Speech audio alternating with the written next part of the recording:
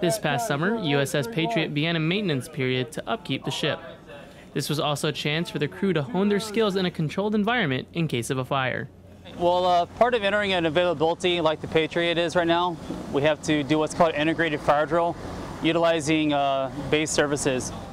The crew worked alongside various entities from around base, including environmental services and the fire department. These drills ensure that Patriot has sailors that are always prepared.